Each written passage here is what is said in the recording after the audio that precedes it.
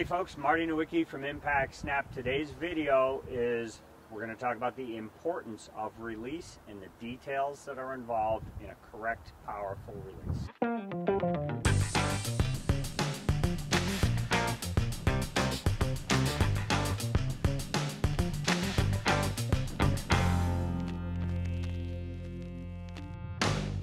The Impact Snap is a release trainer. It trains the wrists to repeat a consistent, powerful impact post-impact position. The simplest way to think about releases, we're releasing the angle between the lead arm and the shaft.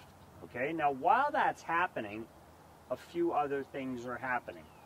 I've got an arm itself, a lead arm that's releasing. I'm going to have a lead wrist that's releasing. I'm going to have a trail arm that's releasing. And I will also have some amount of rotation, and what the rotation does is that squares the club up. Simple drill. If I created that nice little L and just swung it more around my body, well, at some point I need to release a few things. Now, here's the order that things would release. First would be the lead arm from the body itself, okay? Now while that releases, next what's releasing the lead wrist and the trail elbow simultaneously.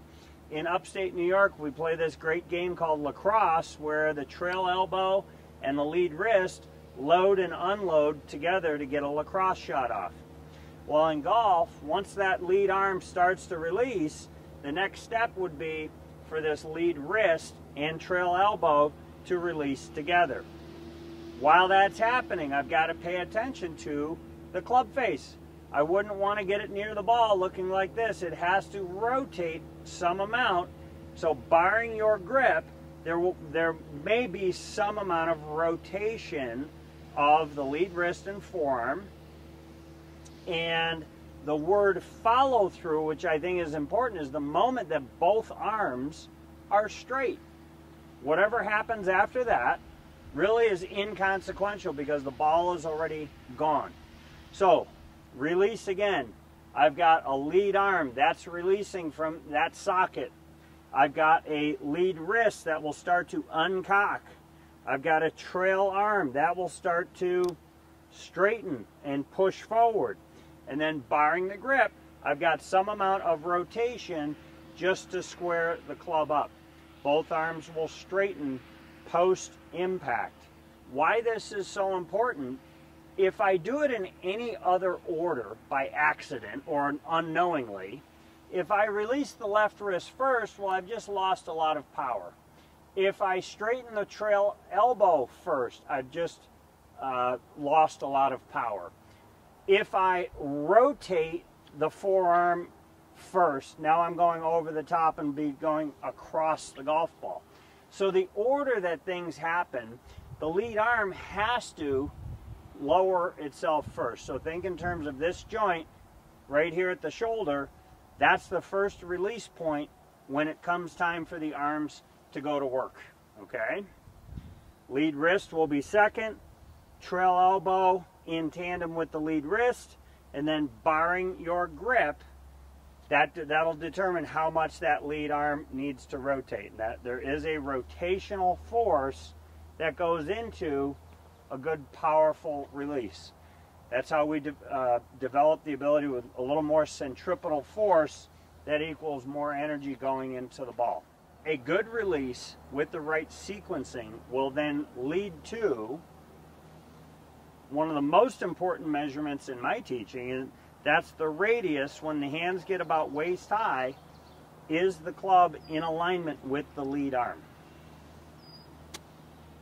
If for whatever reason things are releasing at the wrong time, that's when we see breakdown. That's we always want that lowercase letter y at impact. That makes the club more stable. We even want that with a driver, which I'll show you in another video. We want that lowercase letter y at impact that makes the shaft more stable. If for whatever reason the club starts to pass the arm, that's probably the biggest power loss in golf right there. Doing things in the correct order will ensure a good, powerful release for long, straight, compressed shots.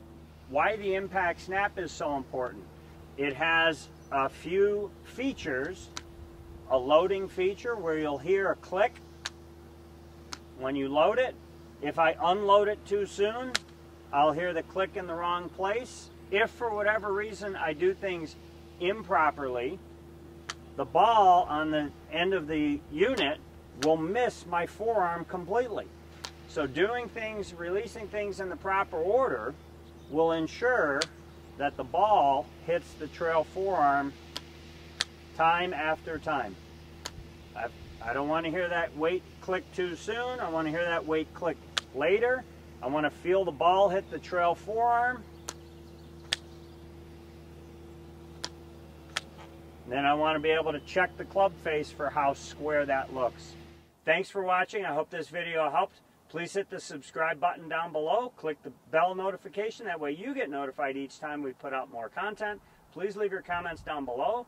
That helps us to create more content for you. For Impact Snap, I'm Marty Nowicki. Thanks for watching.